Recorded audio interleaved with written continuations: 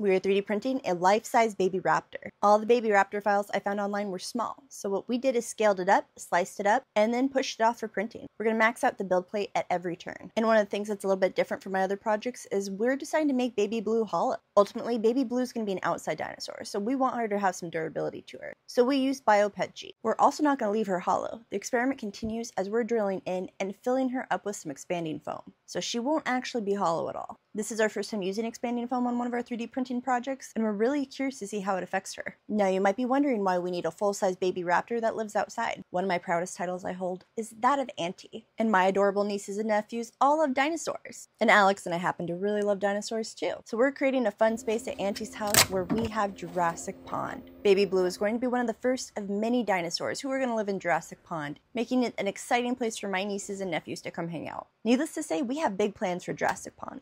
But our first step is to get Baby Blue printed and put together. At this point in the process, she's like one giant puzzle. Except unlike when I have my Droid Division files, there's no pegs or holes to keep all her pieces aligned perfectly and connected. So a lot of this is just going to be us doing our best to be as precise as possible as we glue her. To attach all these puzzle pieces, we're going to be using CA glue, which comes in two parts, the glue itself and the activator spray. After days of printing, we're so excited to finally be putting her together.